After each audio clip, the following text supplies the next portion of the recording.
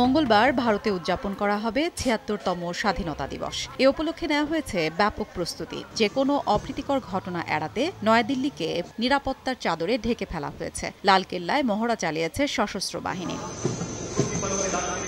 স্বাধীনতা দিবস উপলক্ষে দিল্লির লালকেল্লায় জাতীয় পতাকা উত্তোলন করবেন দেশটির প্রধানমন্ত্রী নরেন্দ্র মোদী। এখানেই স্বাধীনতা দিবসের বক্তব্য রাখবেন তিনি। লালকেল্লায় এক হাজার আটশো বিশেষ অতিথিকে আমন্ত্রণ জানানো হয়েছে।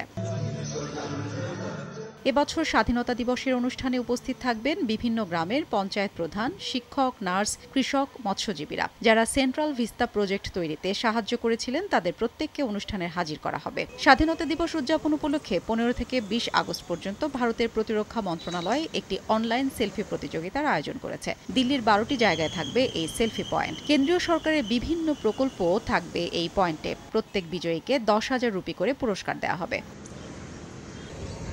এদিকে সোমবার রাত থেকে ভারী যানবাহন দিল্লিতে প্রবেশ করতে পারবে না। এছাড়াও বিভিন্ন রাস্তা বন্ধ থাকবে, বিকল্প রাস্তা দিয়ে চলাচল করতে হবে গাড়িগুলোকে। হাফসাতুন্নেসা সময় সংবাদ।